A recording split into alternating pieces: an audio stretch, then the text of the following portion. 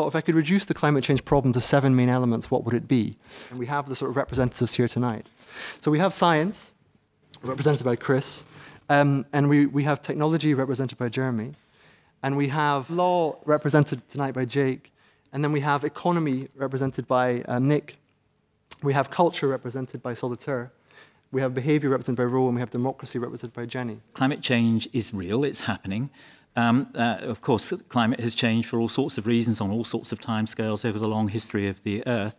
This time, the primary driver is uh, human activity, the release of carbon dioxide into the atmosphere, and other impacts on, on land use, for example, or, or, or the, the surface of the Earth. It's very interesting to see how the business community is beginning to take this more and more seriously as they feel the impacts on their supply chains, uh, on their uh, future investments, as they look uh, into the future, trying to decide where it's safe and where not uh, safe to invest. Um, and that there are things that we can do about it, although um, there is this uh, lacuna in that what is being done is minuscule compared with what the science says needs to be done. And the bottom line of the science is that there is a limited amount of fossil fuel left that we can burn. Uh, and the issue for society, informed by that science, is how to uh, decarbonize the world economy and not burn beyond that limit. And we can argue exactly what that limit is, but uh, the, the principle is there. And the final thing I would say is that the science will always have irreducible uncertainties, but that doesn't mean that one shouldn't act. There are three megatrends emerging in the modern world that should uh, offer us hope.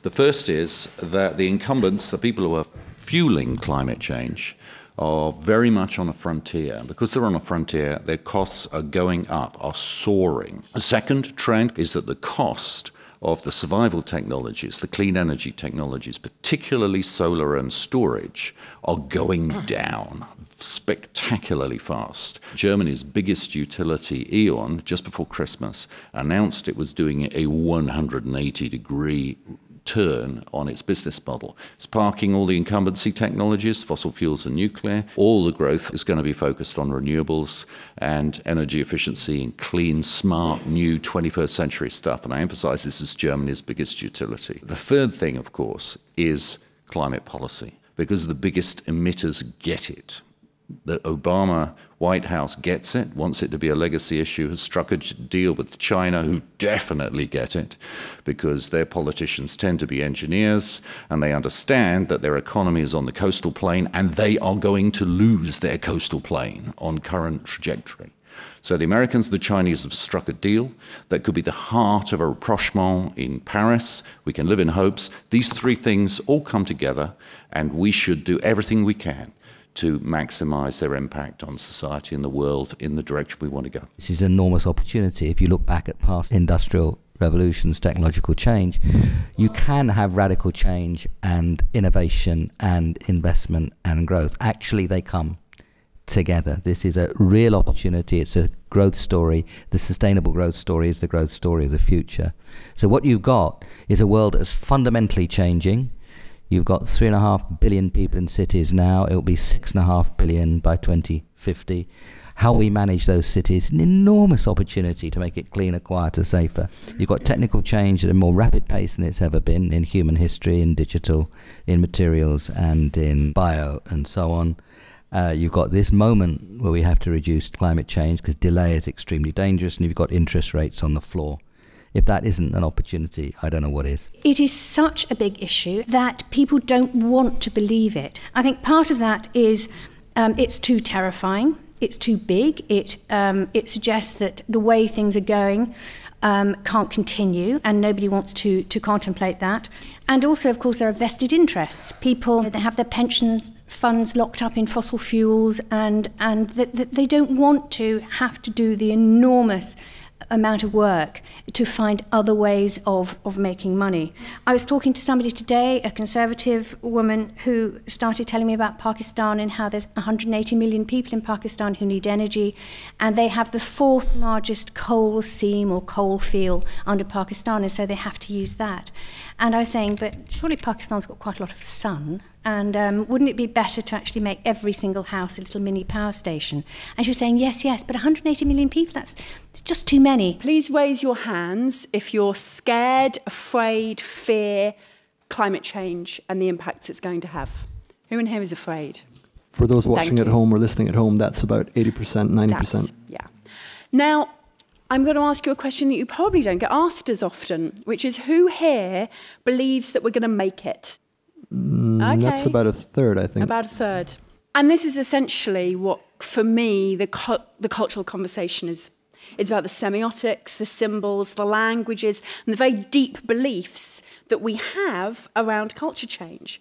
Because if culturally, if in our dynamic, in our conversations, both on the news, in politics, in The Simpsons, in The Daily Show, if there is a cultural belief that we're going to lose this fight, then macro psychology would suggest that we will.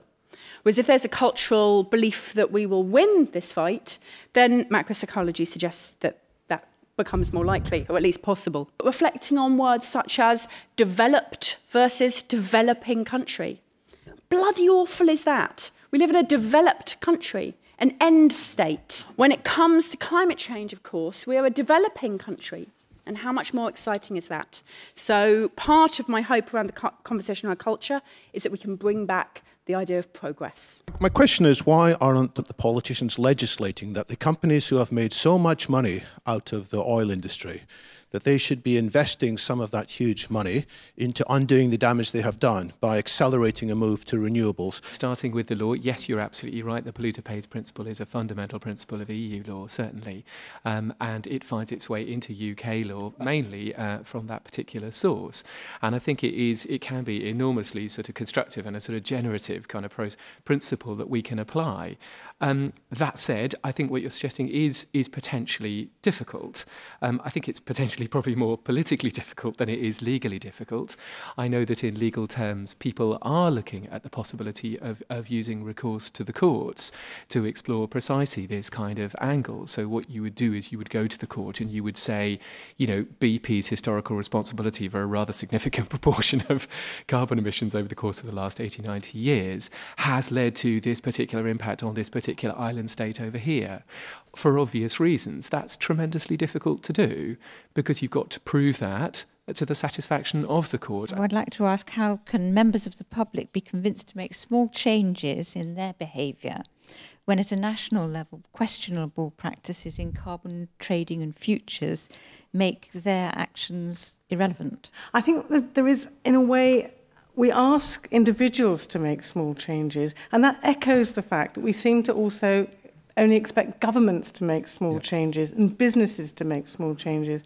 A lot of the work that I do is in, actually is encouraging people to see that they can make big changes Yeah. in their personal lives that, that we can mostly most of us can actually look quite realistically at halving our current carbon footprints there's a lot of joy in that mm. because there's a lot of collective activity in it and you start to produce some of the kind of cultural changes where you find yourself living amongst other people who are thinking the same way and are planning on doing the same kinds of things, are enthusiastic about it, are getting politically engaged as well as personally engaged. So I think we need to move away from the idea of individuals only taking small steps. I think we want them to kind of take huge jumps and run Okay. miles. Miriam McCarthy's not here, but she had a great question which connects with the general election coming up. It's basically how can we encourage political backing and appropriate policy and funding support to ca- tackle climate change in spite of short term competing political priorities? There's one huge drama that could really resonate and connect with everything that we've talked about so far in the election,